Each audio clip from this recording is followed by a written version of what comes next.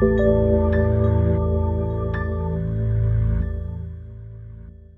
and welcome to ET money Hindi तो आज के इस वीडियो में हम एक बड़ा कॉपस क्रिएट करने, या नेक्स्ट टेन ईयर्स में वेल्दी बनने के तरीके जानेंगे। अगले दस साल में आप अपनी मनी गेम को पूरी तरह बदल सकते हैं। अगर आप खुद को डिसिप्लिन रखते हैं स्ट्रैटेजी पर बने रहते हैं और राइट प्रोडक्ट्स में इन्वेस्ट करते हैं तो शुरू करने के लिए तीन मेजर चीज़ें हैं जो डिसाइड करेंगी कि आप किसी पर्टिकुलर टाइम पीरियड में कितना पैसा कमाएँगे। इसलिए इस वीडियो में हम प्रिसाइज 10 साल के टाइम पीरियड के बारे में बात करेंगे। तो ये तीन चीज़ें कौन सी हैं? आइए एक एक करके समझते हैं। The first is time invested आप किसी इन्वेस्टमेंट को ग्रो करने के लिए कितना टाइम देते हैं? ये डिसाइड करता है कि आप कितना कॉर्पस बनाएँगे। जितना ज़्यादा टाइम देंगे, पैसा उतना ज़्यादा एक्यूमुलेट होगा and vice versa now look at your screen so what is happening here अगर आप हर महीने दस हज़ार रुपये इन्वेस्ट करते हैं और आप उस पर बारह परसेंट रिटर्न अर्न करते हैं तो आपको एक करोड़ बनाने में बीस साल लगेंगे। अगर आप इन्वेस्ट करते रहेंगे तो अगले पाँच साल में आप एक करोड़ और ऐड कर लेंगे। और आपके पास दो करोड़ रुपए हो जाएँगे।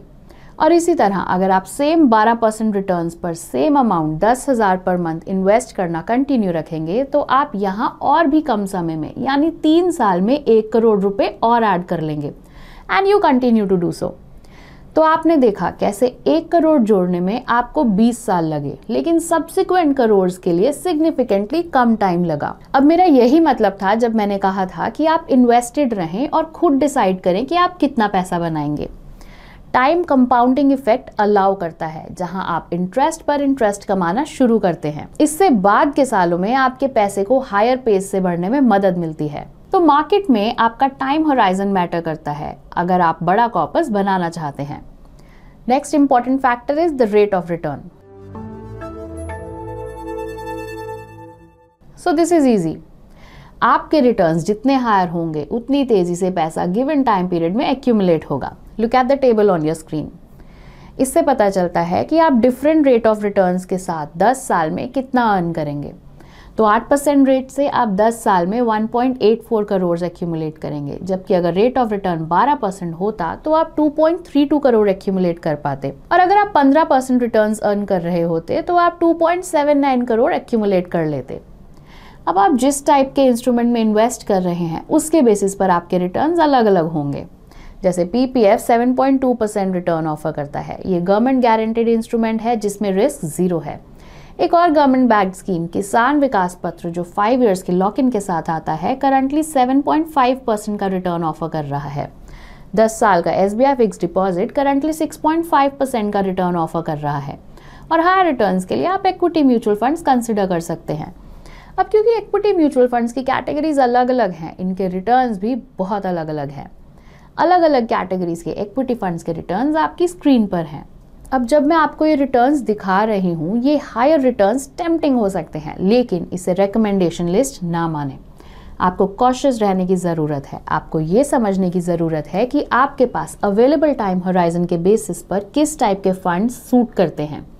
लेकिन यहाँ उलझने की ज़रूरत नहीं है। आप ई टी मनी ऐप पर इन्वेस्टर पर्सनालिटी असेसमेंट लेकर कुछ ही मिनट्स में आसानी से इसका पता लगा सकते हैं। आपको बस कुछ क्वेश्चंस के आंसर देने होंगे और ये टेस्ट आपको आपके इन्वेस्टर पर्सनालिटी के बारे में बताएगा और राइट इन्वेस्टमेंट चॉइसेस के लिए भी आपको गाइड करेगा। तो हायर रिटर्न्स का मतलब है ज़्यादा पैसा, लेकिन ध्यान रखें कि एक ही तरह के इन्वेस्टमेंट सबको सूट नहीं करते।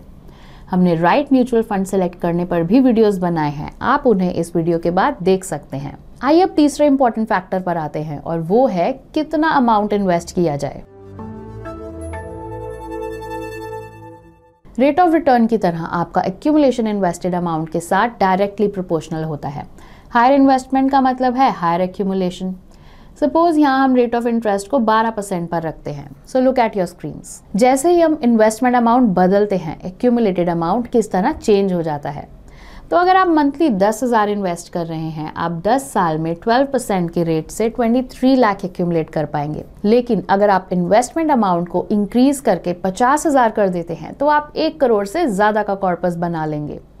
अब टेबल को देखकर अगर आप सोच रहे हैं कि हर महीने इतना बड़ा अमाउंट इन्वेस्ट करना पॉसिबल नहीं है वेल well, आप चिंता ना करें। एक ऐसी स्ट्रैटेजी है जहाँ आप स्मॉल इन्वेस्टमेंट स्टार्ट कर सकते हैं और फिर भी नेक्स्ट टेन ईयर्स में एक बड़ा अमाउंट एक्यूमुलेट कर सकते हैं।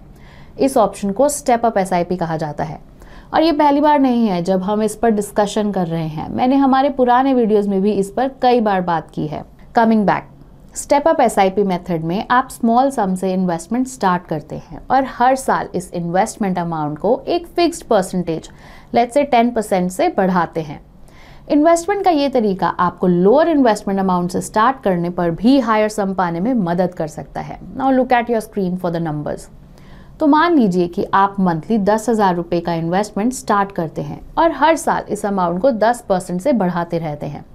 तो आप टेन ईयर्स में लगभग thirty four lakh rupees accumulate कर लेंगे। अब अगर आप 10 परसेंट के बजाय हर साल 15 परसेंट अमाउंट बढ़ाते हैं तो 10 ईयर्स में 41 लाख का कॉर्पस बना पाएँगे। अब अगर आप 10 ईयर्स की जगह पाँच साल और ऐसा करते रहेंगे, यानी टोटल 15 ईयर्स में आप 1 करोड़ 18 लैक्स का कॉर्पस बना पाएँगे। तो आपने देखा कि किस तरह छोटी शुरुआत करके, लेकिन हर साल अमाउंट को बढ़ाते हुए आप लॉन्ग रन में ह्यूज वेल्थ बना सकते हैं। बस आपको कहीं ना कहीं से शुरुआत करने की ज़रूरत है। उस अमाउंट से शुरू करें जिसमें आप कंफर्टेबल हों और जब भी आपको लगे कि आप इसे इंक्रीज कर सकते हैं इंक्रीज करना ना भूलें। प्लान बनाएँ और उसे रिगरसली फॉलो करें। और अपना एसआईपी अमाउंट बढ़ाने के लिए आप ई टी मनी ऐप पर जा सकते हैं। जब आप ई टी मनी ऐप के ज़रिए म्यूचुअल फंड्स में इन्वेस्ट करते हैं तो ये आपको आपकी कन्वीनियंस के अकॉर्डिंग किसी भी समय अपनी एसआईपी अमाउंट चेंज करने का ऑप्शन देता है।